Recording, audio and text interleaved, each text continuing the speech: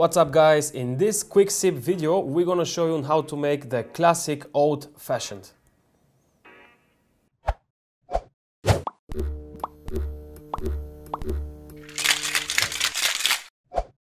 Alright, to make an old fashioned we're gonna start by adding 4 dashes of Angostura bitters.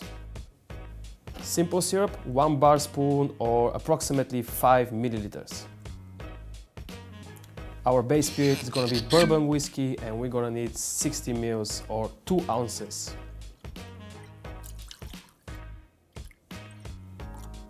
Now time to add ice straight into the glass.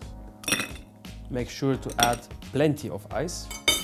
And now we're gonna stir our cocktail for 30 seconds to pre-chill our drink and to mix up all of our ingredients.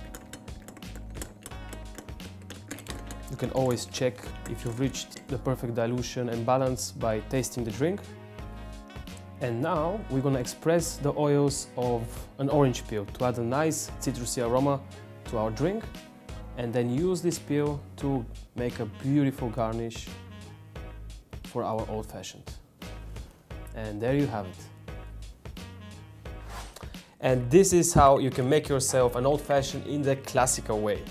In the future, we plan to show you a video about how to make the old-fashioned in three other different ways. So make sure to subscribe, like the video if you liked it, and have a nice sip.